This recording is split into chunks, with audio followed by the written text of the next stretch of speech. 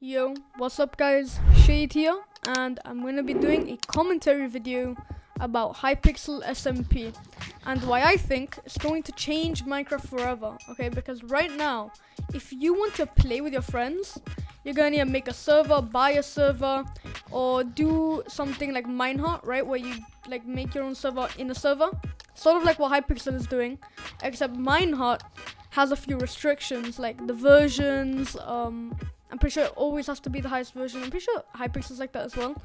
But I'm pretty sure Hypixel gets it earlier, the versions. So that's something. And they also, um, like, it's a bit laggy, Minehut. So Hypixel doing the SMP thing has finally brought some um, competition. But also, Minehut is a bit more difficult to set up. It's like, because it's like the server browser and stuff, right? Hypixel just has, like, play with friends and then you just hit a thing, right? So, that's why I think Hypixel, also being a lot bigger than Minehut, is going to completely change the way people play uh, survival, right? Because instead of making a server, you just log onto Hypixel. And um, I think this is going to be great because the seven-year-old kids, right, like the little kids that want to play survival, now they're going to be on Hypixel for survival as well. Not just for like bed wars and whatever the hell they play these days, right? So this is probably going to explode Hypixel's player count. Like, I just feel it. Sort of like, it's not going to be the next Skyblock, I don't think. But it's going to be one of those really, really good modes up there. With, like, uh, Sky Wars and Bed Wars, like, around there. And that's just going to boost their popularity so much.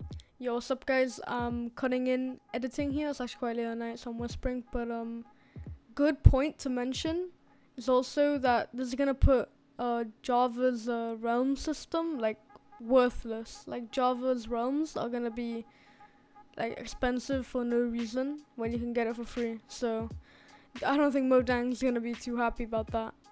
Uh, yeah, that was a pretty good game. This guy, that guy was kind of trash. I'm gonna lie.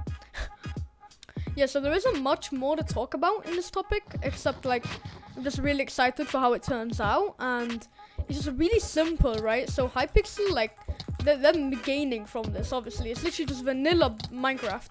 And then they're just getting a bunch of players from it, hopefully. In my opinion, that's how it's gonna turn out. But, um, this guy, this guy nice. No, he just wants to kill me. Okay. Find the Jake.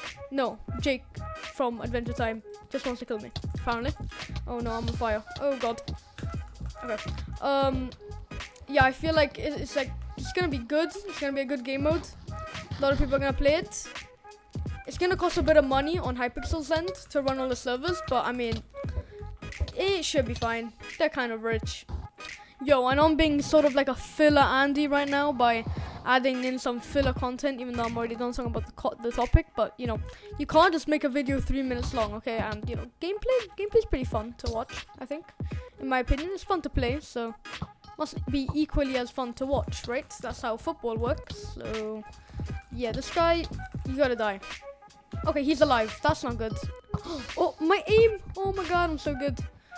Wait, anybody else here? Um, this guy who's on fire. I think he set himself on fire, so it's probably an easy kill.